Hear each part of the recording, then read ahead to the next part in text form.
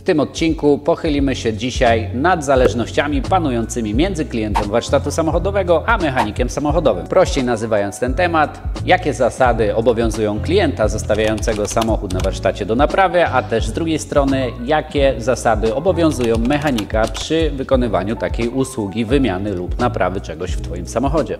Usiądź sobie wygodnie, a ja powiem Ci parę rzeczy, które mogą spotkać Cię w tym warsztacie i omówimy parę aspektów takich jak reklamacje, kiedy warsztat ponosi odpowiedzialność za jakąś część, albo jakie są też Twoje prawa i prawa mechanika. Dowiesz się tego wszystkiego w tym odcinku, dlatego usiądź sobie wygodnie i zaczynamy. A jeżeli prowadzisz warsztat samochodowy, to też taki materiał odpowiedni dla Ciebie, żeby zobaczyć i móc odnieść się do tego, czy tak naprawdę w rzeczywistości jest.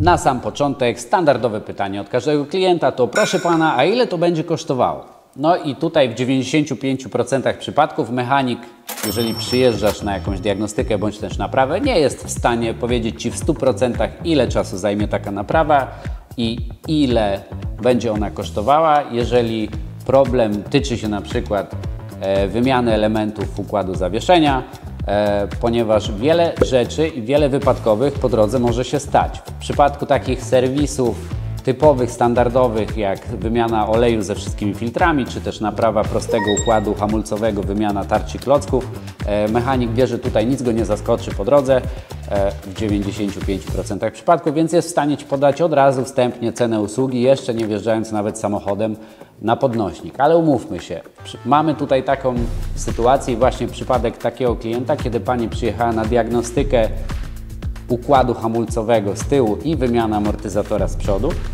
ale podczas diagnostyki wyszło, że wahacze praktycznie nie posiadają już tulei na osi przedniej, z tyłu bębny są kompletnie do wymiany, szczęki i cylinderek zalane płynem hamulcowym i trzymają, stoją tak zwanego dęba, więc w trakcie diagnostyki dopiero większość przypadków i większość warsztatów potrafi powiedzieć Ci dokładną cenę za robociznę, dokładne, e, dokładną cenę materiałów, jakie są potrzebne do naprawy Twojego samochodu, dlatego najważniejszym krokiem w wizycie na warsztacie, jeżeli jedziesz z czymś poważniejszym niż tylko wymiana na przykład oleju, to pamiętajcie, że każdy szanowany się warsztat najpierw zrobi Wam takową diagnostykę. Taka diagnostyka w zależności od czasu takiej diagnostyki kształtuje się w kosztach od 100 do 200 i 300 zł.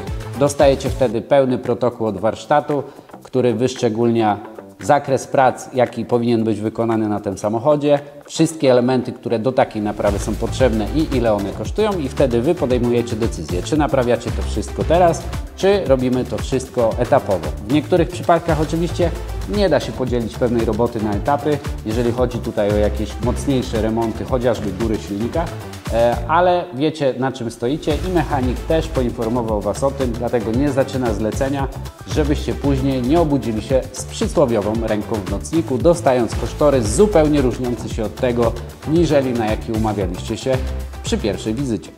Przykładem takiego zlecenia, właśnie kiedy ciężko wycenić koszt roboty przed zobaczeniem tego na podnośniku, jest chociażby ta Fabia, która przyjechała do nas ostatnio na wymianę amortyzatorów przód i diagnostykę układu hamulcowego, a okazało się, że praktycznie wahacze przednie są do wymiany, bo nie posiadają sztulei, drążki, końcówki drążków kierowniczych mają takie luzy, że niestety przeglądu to auto by nie przeszło. No i nie wiadomo jeszcze co z przewodem hamulcowym, dlatego klient po okazaniu przez nas zdjęć i dołączeniu takiego protokołu dostał nowy kosztorys wstępny całej takiej naprawy i może zadecydować, czy robimy to na teraz, czy jest w stanie to udźwignąć, czy przenosimy też niektóry serwis na przykład na następny raz. Drugim tematem, który często pojawia się u nas na warsztacie samochodowym, to sytuacja, w której wy, klienci, co jest oczywiście zrozumiałe, bo każdy szuka oszczędności, przynoszą do naprawy swojego samochodu swoje części zakupione gdzieś na aukcjach internetowych, oczywiście, żeby było to tańsze rozwiązanie, lub też czasami próbują przychodzić do mechanika z częściami używanymi z prośbą o ich wymianę. Decydując się już na dostarczenie swoich części do, do mechanika, żeby wymienił je w waszym samochodzie, musicie pamiętać o dwóch bardzo ważnych rzeczach. Pierwszą z nich jest fakt, że żaden mechanik, żaden warsztat samochodowy nie da Wam gwarancji na część zakupioną przez Was na jakiejś aukcji, tudzież w innym sklepie, ponieważ sprawa wynika, że to sprzedawca lub producent jest gwarantem danego, danej części, danej usługi. I tutaj w takiej sytuacji warsztat daje Wam tylko gwarancję na swoją wykonaną usługę montażu lub też naprawy Waszego samochodu przy użyciu Waszych części, ale w przypadku, kiedy dojdzie do tego, że dostarczona część ma na przykład wadę fabryczną lub po 10 km okaże się, że ta część po prostu jest zepsuta i trzeba ją zareklamować, warsztat wtedy demontuje taką część, oddaje ją Wam. Po Waszej stronie stoi reklamacja, wysłanie tego do sprzedawcy, ale warsztat ma prawo wtedy naliczyć Wam e, usługę dodatkową demontażu i montażu nowej części. Drugim ważnym aspektem takiej akcji, kiedy to Wy dostarczacie swoją część i prosicie warsztat o zamontowanie lub też wymianę takowej części, pamiętajcie, że na koszt całego zlecenia wpływa czas realizacji, czyli roboczo godzina. Jeżeli roboczo godzina w warsztacie kosztuje kwotę X, a Wy dostarczając tą część okaże się, że została zakupiona na przykład nie do Waszego modelu samochodu, co często się zdarza i warsztat przez taką Waszą pomyłkę ma przestój, a Wasz samochód wisi w podnośniku, ma też prawo mechanik naliczyć dodatkowe koszty z tytułu przestoju, jaki jest spowodowany oczekiwaniem na poprawną część do zamontowania w samochodzie. Podsumowując tą część naszego odcinka, to pamiętajcie, zawsze jeżeli dostarczacie części, to Wy później zajmujecie się reklamacją w przypadku, kiedy ta część jest wadliwa i to może przynieść dodatkowe koszty naprawy Waszego samochodu spowodowane tym, że czas tej naprawy się rozciąga, a mechanik ma przez Wasz samochód przestój w oczekiwaniu na odpowiednią część.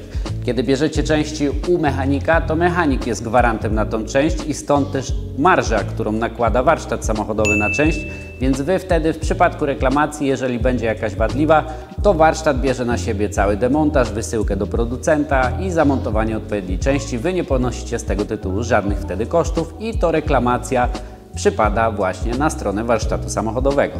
Nie wszystkie roboty da się wycenić jeszcze przed diagnostyką na podnośniku, czyli jeżeli dzwonicie do warsztatu z zapytaniem o na przykład koszt wymiany zawieszenia w Golfie 5C6 lub też e, koszt wymiany rozrządu na łańcuchu w takim, w takim silniku, pamiętajcie, że dużo składowych jeszcze może zaskoczyć mechanika podczas tej roboty, dlatego najlepiej takie kosztorysy ustala się dopiero po pełnej diagnostyce ze strony warsztatu. Wtedy Wy dokładnie wiecie, co Was czeka i na jaki koszt możecie się przygotować, a mechanik sprawdzając wszystko krok po kroku wystosuje Wam kompletny kosztorys z zawartymi wszystkimi naprawami pobocznymi, które musi wykonać robiąc tą docelową. A teraz takie małe ogłoszenie duszpasterskie już w sobotę 30 listopada, czyli dokładnie za dwa dni, jeżeli oglądasz na premierze ten odcinek, wybieramy się do Radka z Warsztatowych Historii, z kanału Warsztatowe Historie, do jego siedziby warsztatu, która mieści się w Czernicy Wrocławskiej przy ulicy Wojska Polskiego na terenie jednostki wojskowej, a tam wiele nagród, atrakcji, My pakujemy się z małymi niespodziankami dla Was, czyli nasze dwie jedyneczki wyścigowe, które możecie oglądać na naszych odcinkach, jak sprawują się na torach wyścigowych.